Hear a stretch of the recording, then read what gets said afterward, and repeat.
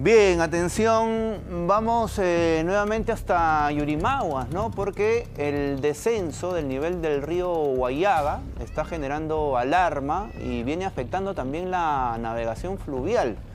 Las eh, quebradas se han estado secando por las altas temperaturas que se están registrando precisamente en este lugar, que llegan incluso hasta los 38 grados, ¿no? Así que nos comunicamos nuevamente con Marcelino Aguilar para que nos dé ahora los detalles de esta situación, sin duda, que es muy preocupante también. Marcelino, buenos días nuevamente, te escuchamos. Lucho, buenos días. Sí, es alarmante lo que ha descendido el nivel del río Guayaga. Imagínese eh, la temperatura que llega pues entre la 1, 2, 3 de la edad, 38 grados, y el verano es muy extenso. Y no solo ha bajado el nivel del río Guayaga, del Paranapura, del río Chanuche, que son los tributarios, casi prácticamente no se puede navegar como antes lo hacían los campesinos. Las quebradas, que son uh, riachuelos, que es como si fuera una carretera en la selva, que los, uh, las comunidades uh, ribereñas, pues prácticamente se han secado y no ingresan los botes o los pequepeques ni las canoas. Lo que tienen que hacer es caminar largas horas para llegar a su destino, a su comunidad, los no solo los personas, sino los campesinos.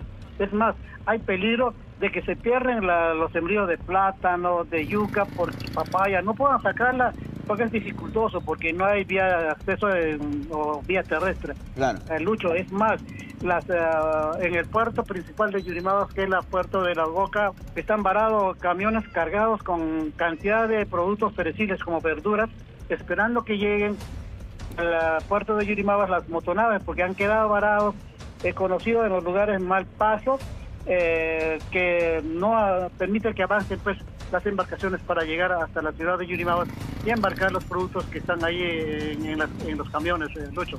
Sí, eh, Marcelino, y, como se había mencionado, el, motivo de esto es básicamente las altas temperaturas o puede haber otra, otra causa también de esta situación? Mira, se maneja que sería pues el cambio climático, ha habido mucha deforestación en la zona, ya no hay lluvia en las cabeceras, no se está registrando. Es preocupante también la alta temperatura porque no, casi este año, de los otros años, se está registrando demasiada alta la temperatura. Es más, FENAM está evaluando declarar de alerta roja la navegación por el bajo nivel del río Guayaga. Es más, Lucho, la que hay preocupación de los campesinos, comentan que se están secando las flores, los frutos pequeños que, están germinados, que, están saliendo en plantaciones, como por ejemplo el, el cacho, el conocido fruto del marañón, de la papaya, y por la alta temperatura, las hojas de plátano eh, eh, prácticamente se han secado, se, se, reduce, entonces no va a haber producción, eh, va a haber escasez de productos regionales que son de pan llevar para las comunidades ribereñas, Lucho. Bueno, complicadísimo todo el panorama que nos estás eh, revelando, que estás compartiendo, Marcelino.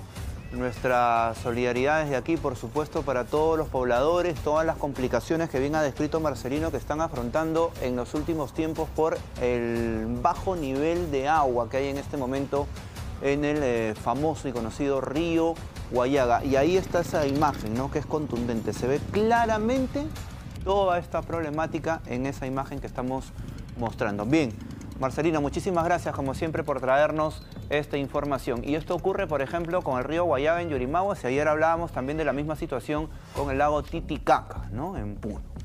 Terrible, ¿ah?